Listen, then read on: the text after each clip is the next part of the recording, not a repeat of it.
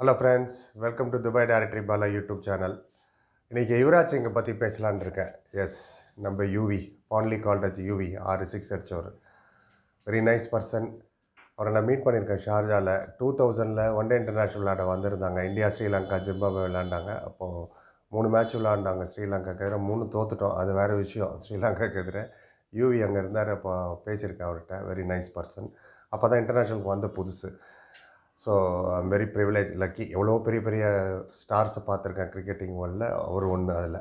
So anyway இப்போ கடகடன் சில விஷயம் எனக்கு தெரிஞ்சது அவரை பற்றி பேசுகிறேன் aggressive stroke play maker left arm off spinner உங்கள் எல்லாருக்குமே தெரியும். Part time very useful part time bowler அவர் வந்து கிட்டத்தட்ட அறுபது நாற்பது டெஸ்ட் மேட்ச் விளையாடிருக்காரு. ஆயிரத்தி தொள்ளாயிரம் ரன் அடிச்சிருக்காரு. மூணு ஹண்ட்ரட் லெவன் ஃபிஃப்டி அடிச்சிருக்காரு. ஒன் டே இன்டர்நேஷனல் முந்நூற்றி நாலு ஒன் டே விளையாடிருக்காரு. எட்டாயிரத்தி எழுநூற்றி ஒரு ரன் பதினாலு ஹண்ட்ரடு ஐம்பத்தி ரெண்டு ஃபிஃப்டி டி டுவெண்ட்டியில் ஐம்பத்தெட்டு மேட்ச் விளையாடிருக்காரு ஆயிரத்தி நூற்றி எழுபத்தி ஏழு ரன் எட்டு ஃபிஃப்டி ஃபிஃப்டி அடிக்கிறது பெரிய விஷயம் டி டுவெண்ட்டியில் ஐபிஎல் மொத்தம் நூற்றி முப்பத்தி ரெண்டு மேட்ச் விளையாண்டார். பஞ்சாப் விளையாண்டார் ஆர்சிபிக்கு விளையாண்டார். இன்னும் சில டீம் விளையாடு two thousand seven fifty runs அடிச்சிருக்காரு. பதிமூணு ஃபிஃப்டி அடிச்சிருக்காரு. இதுதான் அவரோட கேரியர் ரெக்கார்ட்ஸு ரஞ்சி பற்றிலாம் நான் பேசல. நிறையா இருக்குது அப்படி பேச போனால் is a is son of former fast bowler Yograj Singh அவங்க அப்பாவே இந்தியாவுக்கு விளையாண்டவர் ஃபாஸ்ட் பவுலர் அவர். ஸோ அவர் சின்ன வயசில் எப்படின்னா யுவராஜுக்கு வந்து ஸ்கேட்டிங் ரொம்ப பிடிக்குமா? ஸ்கேட்டிங்கில் கப்பலாக ஜெயிச்சிருக்காரா மெடல்லாம் அவங்க அப்பா என்ன பண்ணிருக்காரு மெடல்லாம் தூக்கி வெளில போட்டுட்டு அதெல்லாம் வேணா நீ வான்னு இது பண்ணாரா நெட்ஸுக்கு நீ கிரிக்கெட் தான் விளாடணுன்னு அப்படி தான் கிரிக்கெட் உள்ளே வந்தார். He was very keen on skating and tennis in his younger age anyway இப்படி தான் அவர் வந்தார் கிரிக்கெட் uh, உள்ள. உங்கள் எல்லாருக்கும் தெரியும். அதுக்கப்புறம் எவ்ரி திங் இஸ் ஹிஸ்ட்ரி நிறைய விஷயங்களுக்கு அவரை பற்றி சொல்கிறதுக்கு டூ தௌசண்ட் லெவனில் வேர்ல்ட் கப் நடந்தது இல்லைங்களா? இந்தியாவில் தோனி கடைசியில் கூட அடித்தார் அதில் மேன் ஆஃப் த டோர்னமெண்ட்டு நம்ம யுவராஜ் சிங் தான். அதில் ஒரு மேட்ச்சில் வந்து ஃபிஃப்டி அடித்து அஞ்சு விக்கெட் வேறு எடுத்திருக்காது இன்னைக்கு வரைக்கும் ரெக்கார்டு வேர்ல்ட் கப்பில் ஃபிஃப்டி அடித்து அஞ்சு விக்கெட் எடுத்தது யாருமே இல்லை. இவர் ஒண்டி தான் யுவராஜ் சிங். அந்த மாதிரி நிறைய ரெக்கார்டு இருக்குது ஆறு சிக்ஸ் அடித்தார் உங்களுக்கு தெரியும். ஸ்டூவர்ட் ப்ராடா இங்கிலாந்துக்கு எதிராக இன் சவுத் ஆஃப்ரிக்கா அதான் ஃபஸ்ட் வேர்ல்டு கப் இந்தியாவில் நடந்தது. டி டுவெண்ட்டி வேர்ல்டு கப்புக்கு ஃபஸ்ட்டு அதுதான். டூ தௌசண்ட் செவனில் நம்ம ஜெயிச்சோம் பாகிஸ்தான் அடிச்சு. தோ எம்எஸ் தோனி தான் கேப்டன் அதில் யூவி இருந்தார். இங்கிலாந்துக்கு எதிராக ஆறு சிக்ஸ் அப்பா மிட் விக்கெட்டில் ஸ்கொயர் லெக்கில் ஃபைன் லெக்கில் டீப் பாயிண்டில் அந்த சிக்ஸ் தான் எனக்கு ரொம்ப பிடிச்ச six outside the house stump Flintoff அங்கே தலைமையில் கை வச்சுக்கிறேன் ஏன்னா ஃப்ளின்ட் ஆஃப்க்கு யுவராஜுக்கும் கொஞ்சம் பிரச்சனை எப்போ பார்த்தாலும் ஓடிட்டுருக்கும். இந்தியாவில் ஒரு மேட்ச் நடக்கும்போது இருந்தது அந்த இடத்துலயே அவர் என்னமோ சொல்லியிருக்காரு யுவராஜா. ஸோ இட் பம்ப்டம் ஐ மீன் அதனால தான் அடித்தான்னு சொல்ல முடியாது. Is a good player also we all know that record அது. அதுக்கப்புறம் தான் நிறைய பேர் அடிக்க ஆரம்பித்தாங்க ஆறு சிக்ஸ் அடிச்சதுக்கு முன்னாடி கிப்ஸ் ஒன்று அடிச்சிருக்காரு. Herschelle Gibbs South African against Ireland நினைக்கிறேன் டூ தௌசண்ட் செவன் வேர்ல்ட் கப்பில் பட் இதுதான் ரொம்ப பேசப்பட்ட விஷயங்கள். அப்புறம் ஆர்சிபிக்கு பதினாலு கோடி ஒரு வாட்டி வாங்கினாங்க கொடுத்தாங்க அவருக்கு. ஸோ அதை அந்த டைம் வரைக்கும் ஹையஸ்ட் பிட் அவர் தான் ரெண்டாயிரத்தி பதினஞ்சில். அப்புறம் ரெண்டாயிரத்தி ரெண்டு நேட்வஸ் ட்ராஃபி அதுதான் ரொம்ப ஹைலைட் இந்தியா ஜெயிச்ச வேர்ல்ட் கப்பில் இந்தியா ஜெயிச்ச இம்பார்ட்டன்ட் ஃபைனலில் அது ஒரு மிக்கமான final Ganguly கேப்டன்சியில் three hundred twenty five chase பண்ணணும் லா லார்ட்ஸில் நடந்தது. டிவியில் தான் நான் பார்த்தேன். அதில் கங்குலி கேப்டன் கடைசியில் கூட ஷர்ட்டை கட்டிட்டு இப்படி இப்படி ஆடுவார். ரிவ்யூ சொல்லியிருக்கேன் கங்குலி பற்றி பேசுனதில்.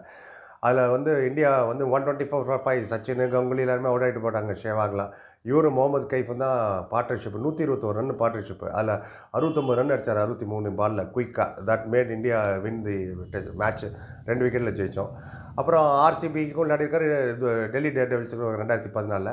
அப்புறம் இன்னொரு அவரை நான் பார்த்த மேட்ச் வந்து கொக்கோ கோலா கப் நடந்தது ரெண்டாயிரத்தில் எக்ஸாக்ட்லி டூ தௌசண்ட் மில்லியன் இயரில் அந்த கப்பில் வந்து இந்தியா ஸ்ரீலங்கா ஜிம்பாபே விளாண்டாங்க. அது ஃபைனலுக்கு நம்ம வந்துட்டோம் இந்தியா அண்ட் ஸ்ரீலங்கா.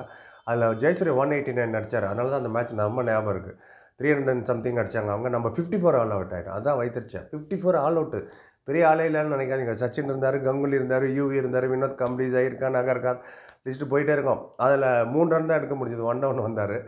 அந்த மேட்ச்சு அப்போ தான் நான் அவரை பார்த்தேன். ரொம்ப பேச முடியல. என்ன தோத்துட்டு வர வந்திருக்காங்க. ட்ரெஸ்ஸிங் ரூமில் போய் என்னத்தை போய் அறுக்கிறதுன்ட்டுன்னு.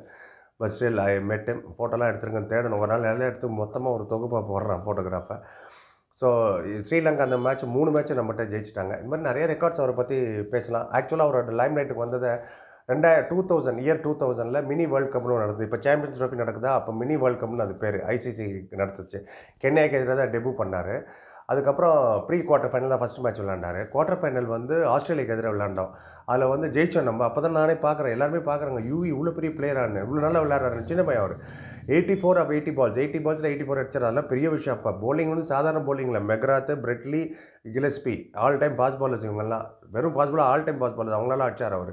அப்புறம் செமிஃபைனலில் சவுத் ஆஃப்ரிக்கா எதிராக ஃபார்ட்டி ஒன் அடித்தோம் அடித்து ஜெயிச்சு ஃபைனலுக்கு வந்து ஃபைனல் தோத்துட்டோம் நியூசிலாண்டில் கிறிஸ்கைன்ஸ் ஹண்ட்ரட் அடிச்சிட்டார். அது வேறு விஷயம்னு நான் அதை பற்றி பேசுகிறேன் ஸோ இந்த மாதிரி நிறைய விஷயங்கள் இருக்குது நம்ம யுவராஜ் சிங்கை பற்றி அப்புறம் அவருக்கு நடுவில் கொஞ்சம் உடம்பு சரியில்லாமல் போச்சு. அதில் வந்து நல்லா ஃபைட் பண்ணி வெளியில் வந்தார். We all know that so very happy அந்த விஷயத்தில். அமெரிக்காவில் தான் போய் ட்ரீட்மெண்ட் நடந்தது. கொஞ்சம் அரசியல் நிறைய விளையாடிச்சுன்னு நினைக்கிறேன் அவரோட இன்டர்நேஷ்னல் கேரியரில் இன்னும் கொஞ்சம் கூட எக்ஸ்டெண்ட் பண்ணியிருந்திருக்கலாம். ஒரு சின்ன இது ஏஷியா கப்புன்னு நினைக்கிறேன். டி டுவெண்ட்டியில் சரியாக விளையாடல. அதுக்கப்புறம் ரெகுலராக சான்சஸ் கொடுக்கல.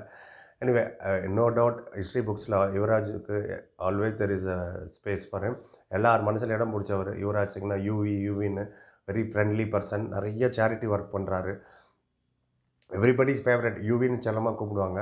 எம்எஸ் தோனி கேப்டன்ஸை தான் நிறைய விளையாடிருக்காரு. கேப்டன் மெட்டீரியல் வேறு அவர். பஞ்சாபுக்கு தான் ஒரு மார்க்கி பிளேயராக வந்தார். ஐபிஎல் ஸ்டார்ட் ஆகும்போது டூ தௌசண்ட் எயிட்டில் நம்ம two thousand seven world cup ஜெயிச்சது டி டுவெண்ட்டிக்கு மெயின் காரணம் யுவராஜ் சிங் தான். அந்த நாக் அகேன்ஸ்ட் இங்கிலாந்து அகேன்ஸ்ட் ஆஸ்திரேலியாவும் அடித்தார் இந்த மாதிரி நிறைய விஷயங்கள் சொல்லிகிட்டே போகலாம் சொன்னால் இழுத்துட்டு போயிட்டே இருக்கும். இன்னொரு முக்கியமான மேட்ச் டெஸ்ட் மேட்ச் வந்து சென்னையில் நடந்தது. இங்கிலாந்துக்கு எதிராக த்ரீ செவன்ட்டி எயிட் நம்ம சேசிங்க அதில் சச்சின் ஹண்ட்ரட் அடித்தார் இவர் எயிட்டி அடித்தார் பார்ட்னர்ஷிப் சச்சினும் யுவராஜ் சிங்கும் சிக்ஸ் ஃபோர்த் விக்கெட் பார்ட்னர்ஷிப் நினைக்கிறேன். It was a brilliant knock எங்கே போனாலும் இவருக்கும் ஹேட்டர்ஸே கிடையாது ராகுல் ராய்மான் everybody love is also Punjabi so பாகிஸ்தான்லேயும் பெரிய ஃபேன் ஃபைஸ் இருக்குது அவருக்கு. ஸோ மொத்தத்தில் இதுதான் யுவராஜ் சிங்கை பற்றி ரொம்ப பேசிகிட்டே போகிறேன்னு நினைக்கிறேன். அவங்க எல்லாருக்குமே அவரை பற்றி தெரியும். வள வளன்னு சூன் அவர் ஏதாவது ஒரு டீமுக்கு கோச்சாவோ வென்டராகவோ வரலாம். ஐம் ஹோப்பிங் டு சேம் இல்லை காமெண்ட்ரிக்கு வரலாம். ஸோ இவ்வளோ தான் அவரை பற்றி நான் சொல்கிறதுக்கு Ganguly utilised very well part time பவுலராக வேறு யூஸ் பண்ணார். பிரிண்ட் ஆஃப் வந்து ச பீட்டர்சன் வந்து இவரோட பன்னி எப்போ பார்த்தாலும் எப்போ பார்த்தாலும் ஒரு பீட்டர்சன் அவுட் பண்ணுவார் Kevin Pietersen one day out test match ஆகட்டும் எனிவே வளவலன்னு பேசலை. இந்த வீடியோ கண்டிப்பாக பிடிச்சிருக்கும்னு நினைக்கிறேன். பிடிச்சிருந்தா லைக் பண்ணுங்கள் கமெண்ட் பண்ணுங்கள் ஷேர் பண்ணுங்கள் எதுவாக இருந்தாலும் பின்னோட்டத்தில் தெரியுங்க உங்கள் கருத்துக்களை.